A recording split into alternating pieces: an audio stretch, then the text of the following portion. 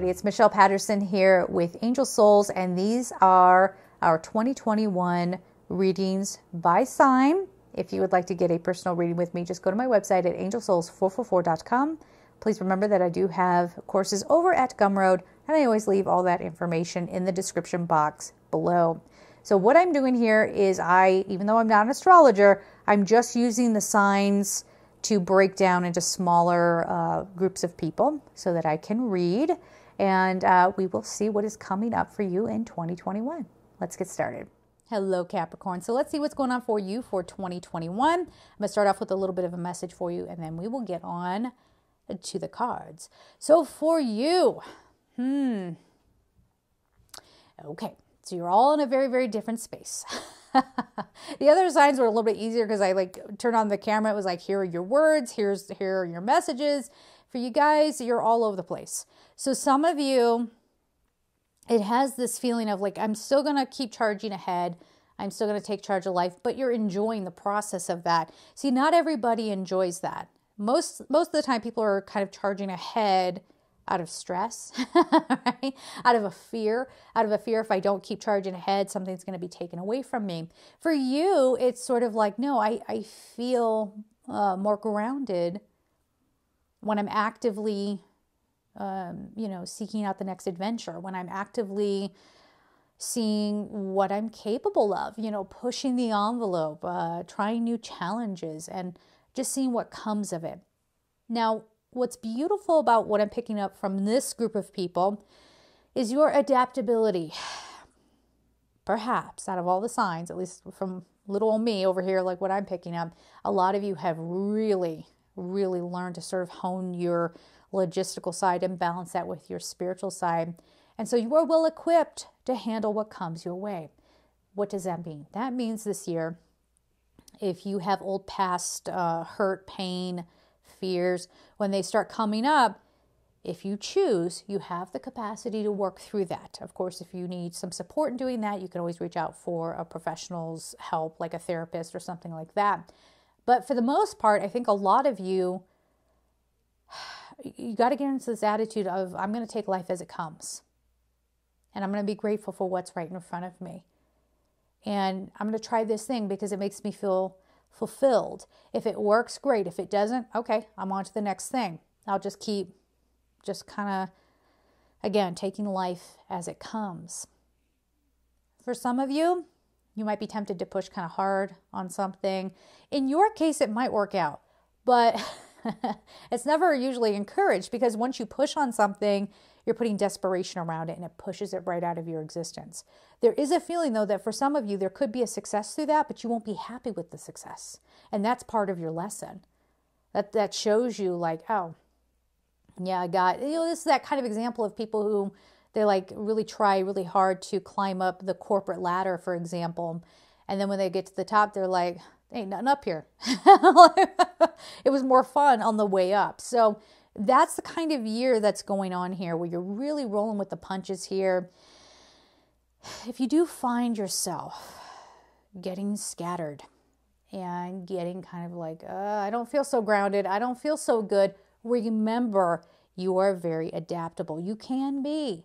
You can be if you choose it. And if you really start to feel stuck, for a lot of you, a, creative project of whatever, you know, whether it's music, drawing, painting, I don't know, um, that can really unlock a flow of energy for you. Moving your body is going to be a great outlet. Okay, so I, if you're into running, okay, but I see uh, people taking up dancing. It's something about exercising and moving your body, going for a walk, you know, all of those things that will definitely help kind of cycle around some of this energy that you might feel is getting pent up in you this year. So, whatever occurs, Roll with it because you can. Remember that you can, okay? All right. So let's get you some cards here.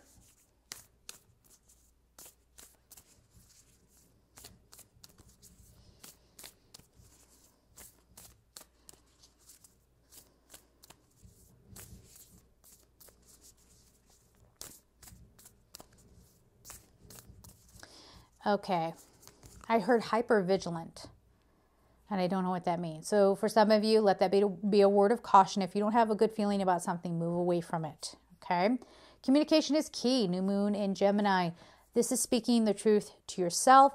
And this is also, for some of you, this is a pursuit in communications. Yes. Now remember, communications can be media, journalism, any kind of writing. It can be singing, teaching, you know, all of these kinds of things. But mostly for for doing a general reading, which we are, and speaking generally, it is about speaking the truth to you. And this might mean the hardest truth of all, I need a day off. Oh my gosh. If I'm not doing something today, whatever will become of me? Um, nothing. Uh, actually, you'll be fine. Nothing bad will happen if you take a day off. You should take a day off, right? And this is you coming out with your truth and, and letting people see who you really are. Um, because I think your opinions have changed. You've done a lot of growing as a person, and maybe it's time to start expressing yourself in a different way. This keeps coming out. Nothing will come of this situation. Void, of course, moon. So, in your case, this is something that you might be worried about. There will be an instinct on how to handle this. There will be a solution, but you have to tune into that solution and don't worry, okay? This will get worked out. There will be something that can come in and bring this to a conclusion. This also means watch your timing. Watch your timing. Again, if you feel like something doesn't feel right, don't go for it yet, okay? You these same cards keep you all saw me shuffling. See, we're getting more and more connected, I think. Honestly. You are good enough, full moon in Virgo your self esteem being based on how much you can fit into a day or whatever, how people view you, uh, you're going to learn to disconnect from that form of self esteem and be more connected with just who you are as a divine being and a human body and say, that's enough. Okay, that's good enough. It doesn't have to be anything grandiose. All right. And then you have emotions are running high supermoon. So this feels like when you do give yourself a break, there's going to be a lot of emotions that come pouring out. There could be a cleansing of your emotions as well. Don't be afraid of this. This is freeing up some space in your energy so that you can bring in some good stuff and have some new emotional experiences. If you're hung up on an ex, you know, this is that time where it's like, kick, scream, do whatever you got to do, and then you leave space open for something new. So your color card is yellow. Purify your body with the exercise, right? 22. So your big, mm, you know, your key to mastery, I guess, is balance and realizing your need for that balance.